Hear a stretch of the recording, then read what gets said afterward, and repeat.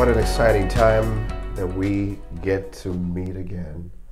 We haven't been together for like what a month or so. About a month or so. You know, the whole, the, the, the whole of August. Mm-hmm. But uh, you've been very active as usual with a lot of kingdom things, uh, dealing with Haiti, dealing with Afghanistan, Uganda, Mission Harvest America. And uh, what a joy for you to be, um, God to use you continually to be all about His kingdom and His people. And I guess um, we could just, you know, talk about everything that's going on because. Well, you know, Dr. Mike, it's it's uh, it's it's first of all, it's a real privilege and honor to be here with you always, as always. Yes. And World Trumpet Television has become a very key, very vital part of what we do Yeah. with Mission Harvest America. Your vision, your passion for humanitarian aid and, Yes. and, and advancing the kingdom of God around the world Yeah. is our passion as well. Amen. And Amen. this is just a vehicle that we that we do that. So, as you know, since Yeah. we since we last met, so many things have happened. Right, Uh, Uganda went on a total lockdown, exactly. and uh, that affected what we were able to do in the interim. Although I always like to tell people, um, God's always makes a way. Yes. God's not limited Yes. By what happens with COVID or with, Yeah. with government.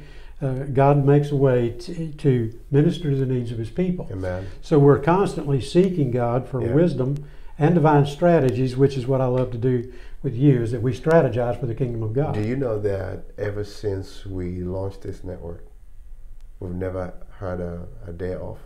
it's been very active.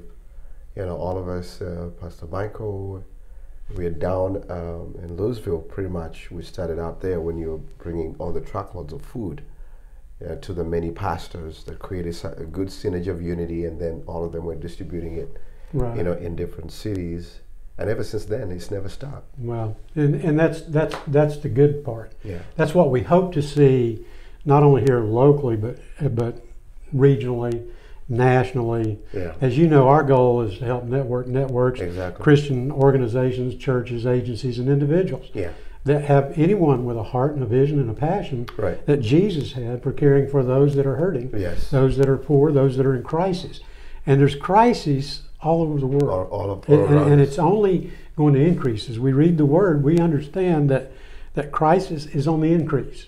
And I told, um, I think it was yesterday, but I think maybe we're talking with you, uh, you know, and uh, I feel like even when we started World Trumpet, and the Lord was telling us that the humanitarian arm of it is going to be in the forefront.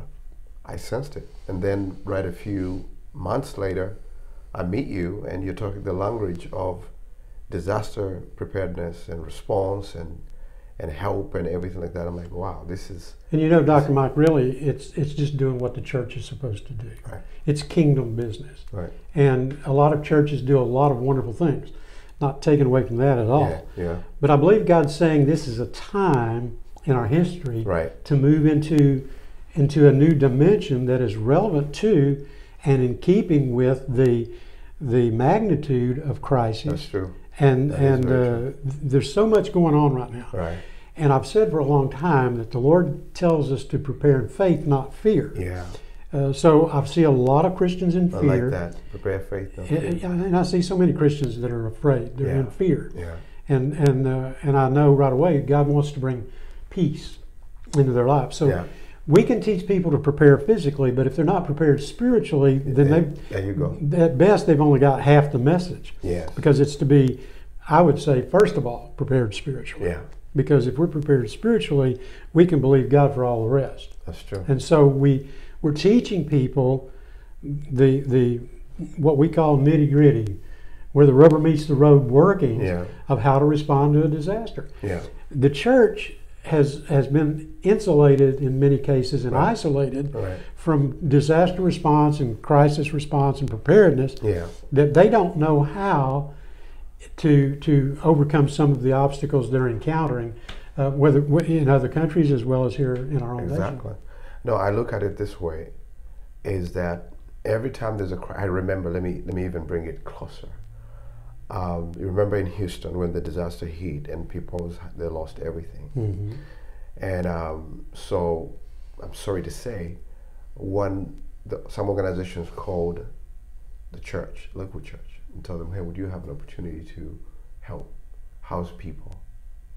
And within the logistics, that didn't come quick, and the news media pounced on Lakewood Church. Yes. You know, and they, they, they made sure, because this is a humongous church, a great church, it does a lot of, you know, disaster things around the, the but just because they never got the letter quick, Yes. all of a sudden, what should have been a good thing turned out they came out after. You remember that? And we're telling them, oh, Lakewood, they, they put it in the news. Lakewood Church we didn't want to Mhm. take in the people. Yeah. Same with the Louisiana and you know Right. different places. Right. When crisis happens, the world's looking at the church. Hmm You have been on the forefront for almost 40 years, calling on churches and leaders to be prepared to be the arms and feet of Jesus, you know, in these in these places. hmm But most times we come in second. Right. The world system comes in so quick because Right. they want a name and they know what they want and they, they use politics around all of those kind of things. And yet the church Well- should be, and you know that well. There, there was a great lesson, and this is a really good point you bring up because it's probably one of the least discussed in Christian circles. Right. See, but in today's world, with social media, instant communication, when a crisis hits, you must be prepared with your be with your response You and your to. message You of response. Because Yes. if you don't come forth with a response, somebody's going to do it for you. Right.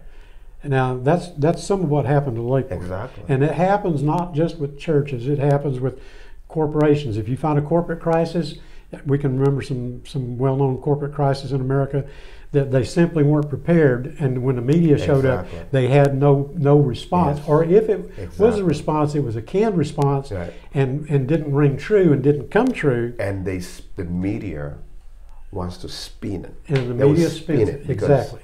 It makes money. They're advertisers and stuff, and before you know it, Exactly. and everybody's looking at, oh, the church doesn't help. The Exactly. church doesn't do that. So, you know? so you and I have talked about this. I mean, Yeah. it's like, just for example, the hurricane hits Louisiana. Yeah. Ida hits. Immediately, my telephone starts ringing because people know I do faith-based crisis response. Right. So, either I'm going to respond, or, or, or they're going to say, "Well, you know, are you going to do anything?" Are you? Right. So we immediately, you can't just rush into a disaster before it happens Exactly. because you don't even know what the needs are. Exactly. But you have to teach people that you can't do that. Right. Right. Uh, and, and that doesn't mean that you're not preparing behind the scenes. Yeah. You may be preparing logistically. You may be on the phone setting up staging areas. You may be networking with other, other Right. agencies or organizations in the area. Yeah. And you're doing all that, but not even the federal government goes in to provide a response before they know what the needs are. They do what's called a damage assessment. You got to know what where the damage is, how much it is, extensive it is, and who is most impacted. So you, before you even know what the needs are. Is it you that told me that in Louisiana before the first storm, that big one also, that you know when people were hit and they were in the dome, uh, the scrambling, you know, that the federal government brought in a lot of food. But even with all of that help that came in from all over the country, my, most of that food rot because it could not get to the people. The navigation of go, taking it in. Th- This has happened in a lot of disasters. One of the things, because American people especially are so generous, they're very, very good. You know, if you if you put out a plea for help, if we like this crisis response, any catastrophic event, Americans will they'll give They'll give. and they'll donate. But if they're not instructed or trained or informed on how to do that, Yeah. what happened in one instance that you're talking about, and that I think I did share with you, was with Hurricane Andrew Yeah. when it came through Homestead, Florida, Americans just responded in kind, and Yeah. I mean they poured tons Right. Of clothing Right. to go to Homestead, Florida. The problem was, as generous as people's hearts were, and as wonderful it is that they gave, the problem was there's no there's no mechanism on the receiving Mm, end mm. to sort through all those clothes and do the distribution. Right. They, they are in the middle of a crisis. The immediate need there at that moment was not foreclosed. The clothes needed to be staged and they did need to get there, Right. but the sequence of events is extremely important. Right. And that's what we need to teach the churches so that they're not do, doing a, what I call a knee jerk Yeah. reaction. Yeah. Because there's a difference between a reaction and a response. Right. We want to respond and we want to do it uh, lovingly. We want to do it intelligently. We want to do it to the glory of God, which means that whatever we give is not going to waste. We're not given just to just to get attention. Yeah. We're, we're saying God has a plan to meet the needs of these people. Right. Let's find out what those needs are. So instead of me trying to give you something you don't need, Yeah. and I'm going to give God credit for it, and you're like, well, what am I going to do with that? Right. Then we say, Mike, what is your need? And you tell me the need, and then we say, okay, we've got resources here, here, and here. Exactly. We've already staged, and then we meet the specific need. You know, I'll just speak to my mind because I think what we are telling the body and those who are watching us is that God's calling us to the forefront as foot soldiers, as the feet of Jesus. He's calling us because we're up against major crises Yes. that are before us. And He's calling the church to be, you know, get out of the four walls and be about our Father's, our Father's kingdom. Absolutely. But much so, as you continue to speak, I hear Jesus tested his disciples in the area of distribution. yes, he did.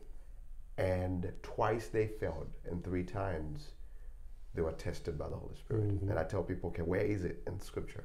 I tell them, he comes across the 4,000 Mhm. and he's asking them, like you always ask, what are we going to do?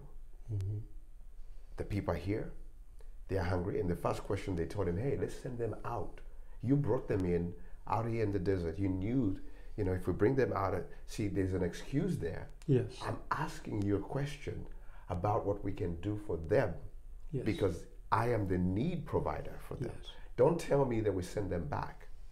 That was their mentality. Mhm. What happened there? A miracle took place Yes. and provision came. That's the backdrop of what we're talking about today. Absolutely. Is when God gives us an opportunity as the body of Christ to believe Him for provision Mhm. that people's needs in our cities or in those crises wherever they are, you know, the storm, uh, they awakened to it. They say the church is here. Yes. They loved on us. They didn't try to put a hook in our mouth and tell us, first give your life to the Lord, then I give you money. Mhm. Or I do this. They just loved on us. We saw Jesus. Yes. The fourth, the second time was when he fed the 5,000. Yes. Again, he's asking them, hmm what are we going to do? And Andrew's telling him this, and Phil, and said, but I mean, but we have a little boy here with the five, five, you know, loaves of bread and stuff. And he's looking at them and saying, they, they never passed the test. And here's how, how I know they never passed the test. That's right. Because he did it twice. Yes. And he's asking them pretty much the same question, which happens every single day with this unique ministry that you have, Dark. And I know you faced a lot of uh, resistance because you're trying to pull an army of help from all corners and say, let's get this done. Some people get the vision, some people don't. Some don't. Don't.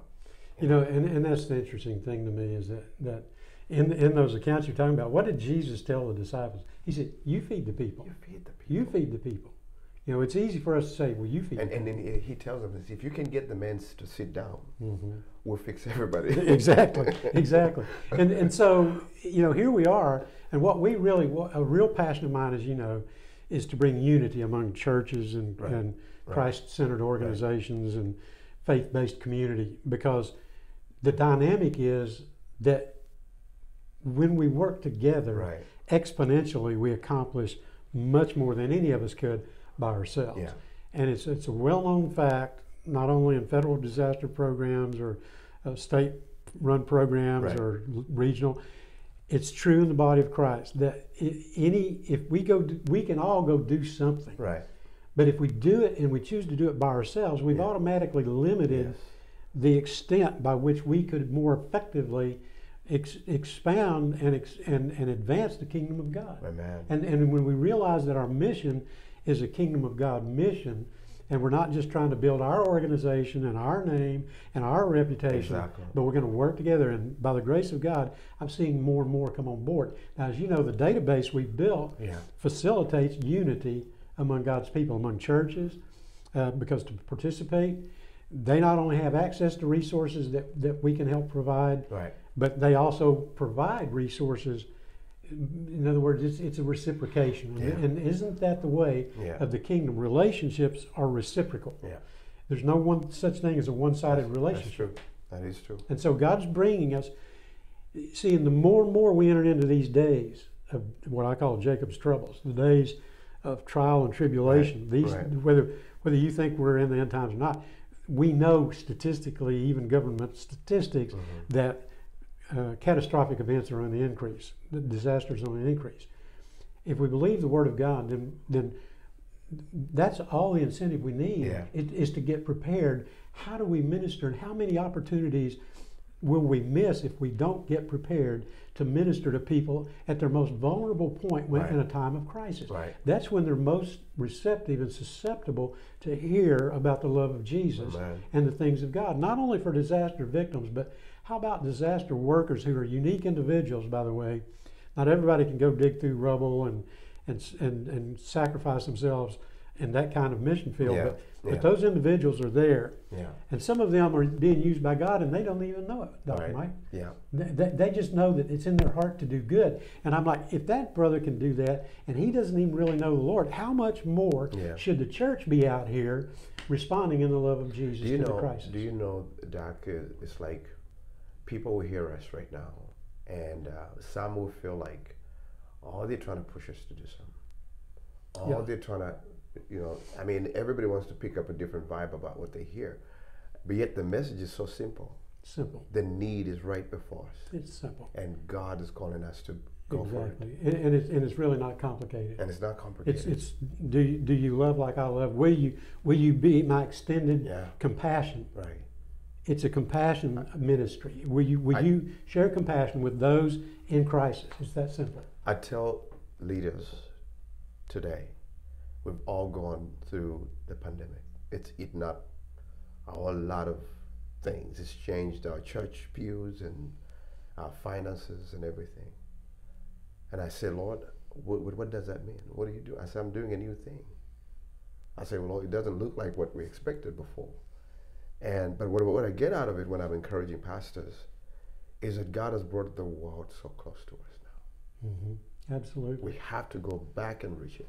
Absolutely. You It, know? it, it's like we hear so many things that, you know, 10 years ago, 15 years ago, we saw a move of God, we saw these things. We used to talk about end times coming. Well, Yeah. they're, well, in my opinion, is they're here. Yeah. You know, we've crossed the threshold. We know crises have increased. So now the Lord just speaks to me and says, Well, that was then, this is now. It wasn't wrong for then, but it's not necessarily right for now. Yeah. What is right is very simple. Is love the people, heal the brokenhearted, Amen. pray for the sick, cast out Jesus told demons, us to do that. raise the dead. Do what Jesus did Exactly. in the midst. And, and when you look at the ministry of Jesus, he was constantly navigating through crisis, people in crisis. Right. Not Whether being- whether it's the woman at the well in crisis, whether it's the lame laying by the by the pool in crisis, over and over. The lame man laying by the temple gate in crisis. crisis. You know, maybe it wasn't your crisis, but it was his crisis. And, and, and isn't it our responsibility as compassion caregivers, like the Good Samaritan, he met the crisis. Child of God, before we close, I think you've had from Dr. Adams, his passion, his whole life has been sought out to see transformation, total transformation in the lives of people, not only just in North America, but around the world. We're so blessed by Mission Harvest America that is here to not only you know, do just the mission, but awaken others to be about the Father's kingdom. Because you've been pastoring and you've been, you know, before pastors and telling them, let's do this, let's let's get out. I'm so happy that you and I get to work together through World Trumpet, you know, to s- reach the world for Jesus. I believe this is a very pivotal season and time we're in. Yes. And I haven't had you say, God, I can do it. Yes. You've said, I will go. I will serve. Yes. I will see people saved and changed and everything like that. That that's the attitude that God blesses, you know, at this point in time. I believe that in the next coming weeks and months before we close this year, there's great mighty things that are going to happen through your ministry and this very hour to champion the cause of Christ because this is the most needed urgency of seeing the kingdom expand. And uh, I'm delighted to have this conversation, you know, that God has helped us. And we, we've done so many, you know, on the network. And we're going to actually do even more and more and more to be in front of the people and tell them it's our Father's business to serve. It's it's You the know, Father's business. It's about yeah. Thank you for your heart, your passion, because you've been such an encouragement and an inspiration. And it is that exactly. We look for people with a like vision, purpose, and passion. Yeah. And, and it's really, to me, the heart of God for reaching a hurting people. Amen. And that is what the gospel is about. If we if we go into all the world, we have to realize we're going into a hurting world. I know. And we either be prepared to minister to those hurts Right. and those needs, or, or we're not prepared. That's and so my message, my heart, is that together, for any pastors, any church workers, any Christian businessmen, any Christian organizations, Everybody, everybody. eh, that you've got a heart and a passion for this kind of thing, give us a call. Together, we don't claim and never have and never will that we can do it by ourselves, but we do declare and proclaim that together, to the glory of God, we can do whatever God sets before us.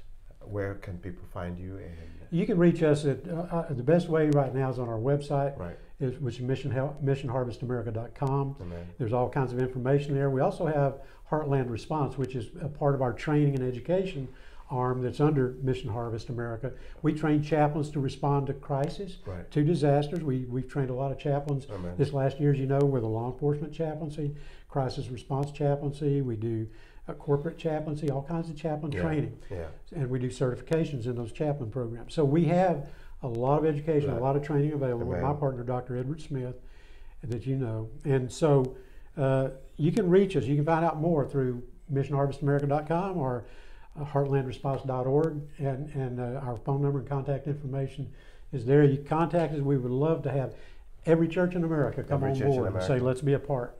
Amen. I'm excited about that. Thank you. Bless you. World Trumpet is a ministry and a network that champions the cause of Christ through humanitarian missions, mighty moves of God, and taking the gospel to the nations. We're so delighted to have this very candid conversation with Dr. Gary Adams, Mission, the president of Mission Harvest. We're looking forward to more. Thank you. I believe actually what we've forgotten to tell the viewers is that you're already packing a container going to Haiti.